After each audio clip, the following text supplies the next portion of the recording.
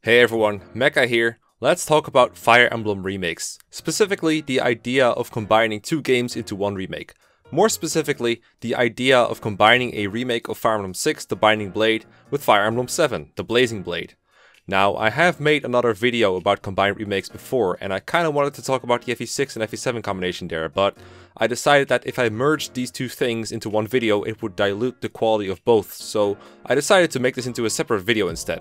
And I should do the same with these games, because combined remakes are a terrible idea, and we shouldn't want them.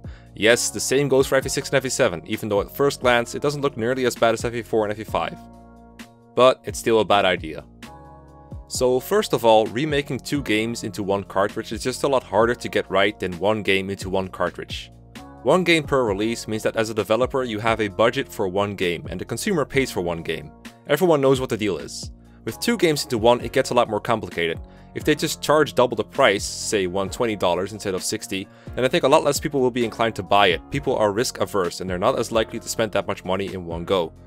It is much more accessible if you have the option of buying one for 60 and then if you like it, you have the option of buying the other one for another 60. Of course, they could reduce the price to $90 for the package of two games, but then as a consumer you should not be expecting two full price games because the people making these games cannot just work for nothing. You cannot pay less and expect the same quality. And if you're okay with reducing the quality of the games for the sake of reducing the price, well, let's just say I respectfully disagree with that.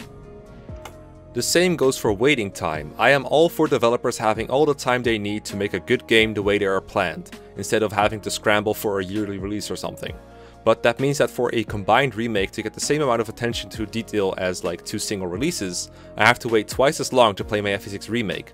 I would rather just have them work on an FE6 remake first, however long that may take, and then while I play that, they get to work on FE7. Yes, I know it wouldn't literally take twice as long, as quite a few assets could be reused, but at the same time, I think there would be a lot of time spent on things that have to be done in a combined remake that wouldn't need to be done in a separate remake.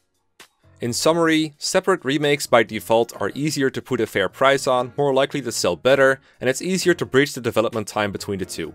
It's better for consumers and it's better for developers. Alright, now let's talk about the specific problems of FE6 and FE7 as a remake. Now, if you have seen my video on the Duke remakes, you would know that a big problem I had with the idea of combining those is that FE4 and FE5 fit together very awkwardly.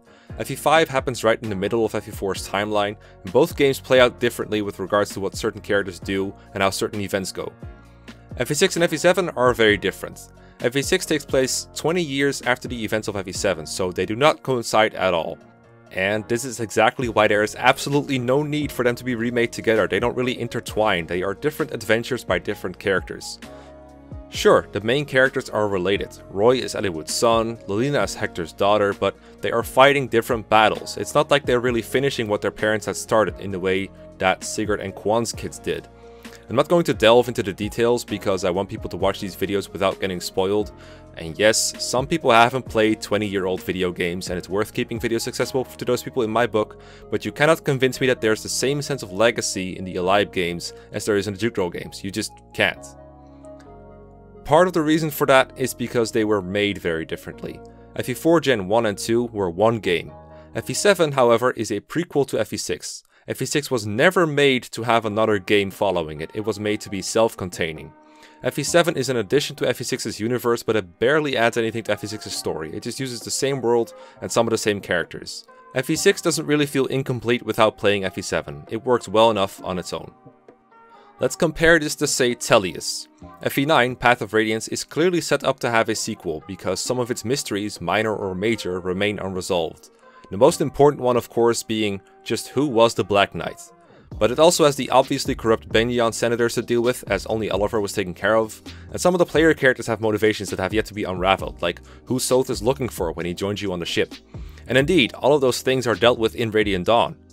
Whether it deals with all these equally well is questionable, but the point is, Radiant Dawn wasn't thought of after Path of Radiance, Radiant Dawn was already clearly in conception when Path of Radiance was made. FE7 on the other hand was clearly conceived after FE6 and as a result it suffers, it really does. In fact I made a gigantic 16 part video series analysing and deconstructing on why FE7's story is so poorly thought out and yet appears to be such a great adventure on your first viewing of it. It is a beautiful yet horrific mess. Don't get me wrong, FE7 was my first Fire Emblem and to this day I love playing it and I love analyzing it, but it also contradicts both itself and FE6 many, many times and in hindsight it makes very little sense. Now, there is no way I can properly back up this stance within the confines of this video. It took me basically 9 hours of scripted video to do so in the first place, but here's a quick rundown of the biggest offenders.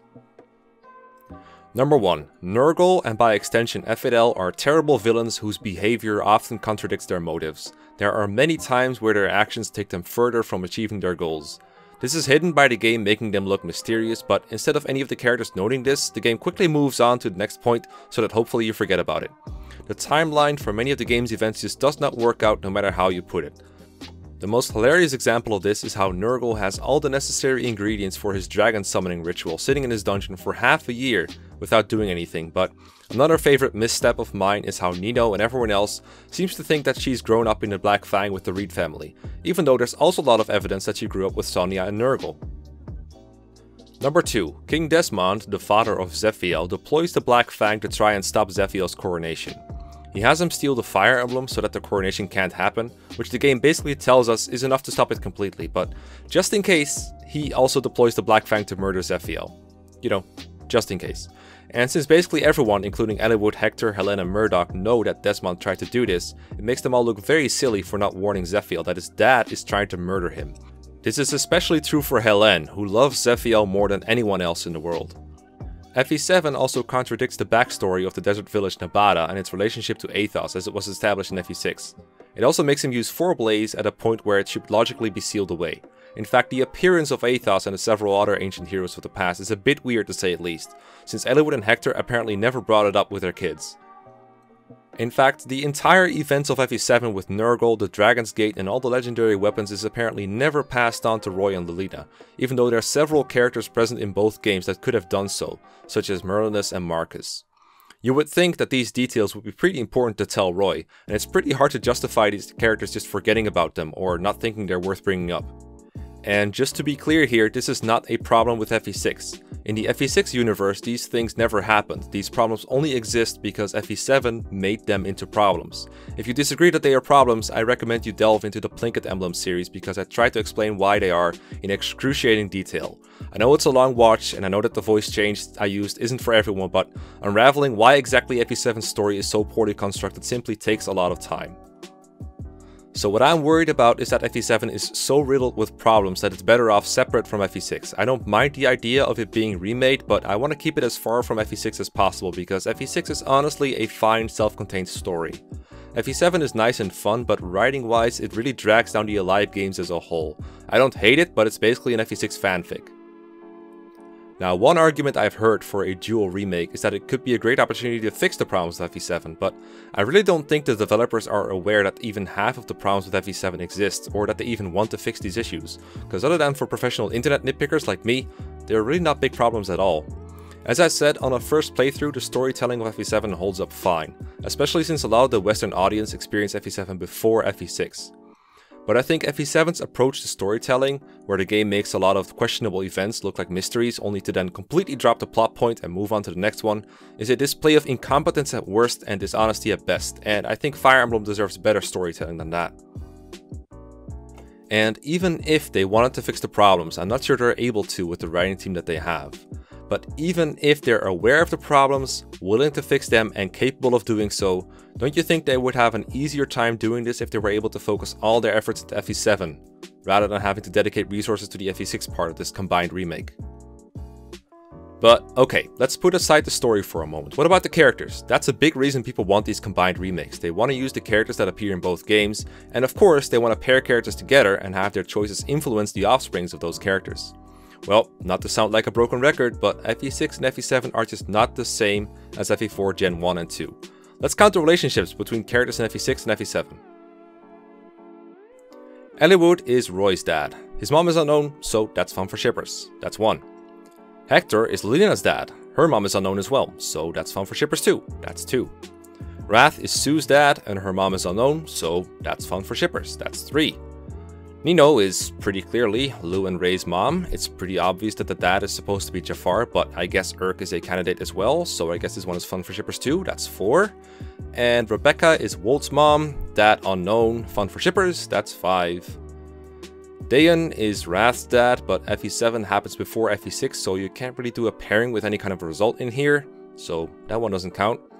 Hawkeye already has a daughter during the events of FE7, so unless you want to make him remarry or something, there's no pairing fun to be had here. Canas is used that, but he's already conceived during the time FE7 happens, so no fun for shippers there. Canas is also the son of Niime, but I don't think anyone plays FE6 so that it compares themselves with Niime, right? Well, I'm sure some of you are into it, but either way, you're not going to be able to influence the kids by doing so. And then there's some more vague links, like how Geitz is the brother of Geese, which again doesn't really give us anything. And lastly, we have the canonical pairings. Pent and Louise are the parents of Klein and Clarine, and Bartre and Karla are the parents of Fir. If you're someone who argues for a combined remake so you can break these pairings up and marry yourself insert to one of these pairings, fuck you. You're the worst. I'm sorry. Not sorry. And that's it. That's all the relations FE7 has to FE6 really, except for people like Karel, Merlinus, and Marcus being the same person. That's 5 characters you can pair, with generally one kit for each. It's not even close to the same thing as FE4, which is built around the generational system. So unless you start inventing family relationships with contrived ideas, like Wendy being the daughter of Serra and Oswin or something, there just isn't too much to work with here. Now, don't get me wrong, I'm not opposed to linking FE6 and FE7 in some way to satisfy people who enjoy this kind of thing. I'm not judging. I have weird fetishes too, like I enjoy beating maps in one turn sometimes, but why not use some kind of transfer system instead, like the Tellius games? Have your Switch take the save data from FE7 and then use it to influence your FE6 characters a bit, depending on what pairings you make, which units were trained, that kind of stuff. I don't have a problem with that. But having both games on one cartridge, I think that's something that makes no sense from a developer standpoint. And it also makes no sense to want it as a consumer. Just keep them separate, there are more ways to connect two games than by literally merging them. Now, there is one argument left that people sometimes bring up in favor of combined remakes, and that's the want to experience both games in succession so that you can have an almost continuous experience of the story. Well, I have good news for you. You can already do this with the many current versions of the game, but not a lot of people seem to notice, so I asked my friend and Yo to demonstrate how to do exactly that. Pay close attention.